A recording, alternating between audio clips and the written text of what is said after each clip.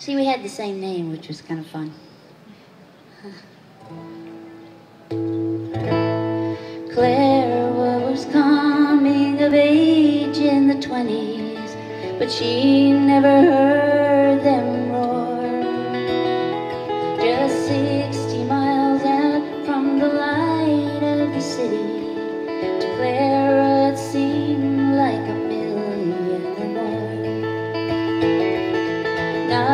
much to do for a coal miner's daughter, but work in the farm and the field.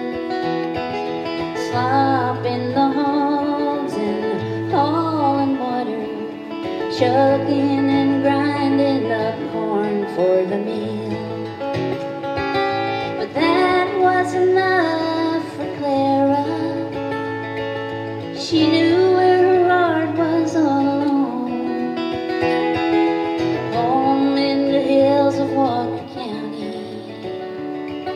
the place she loved when she was young. Clara set her sights on Ollie Phillips, and soon there was a family and a home.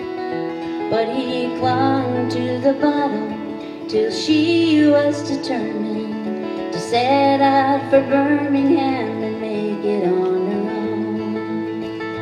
Well, the traffic was loud and the sidewalks were dirty, where Clara walked to work every day.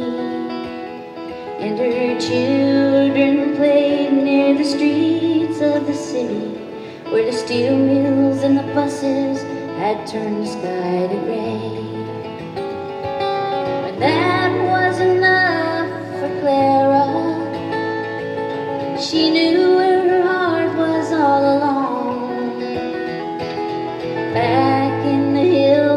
Walker County, the place she loved when she was young.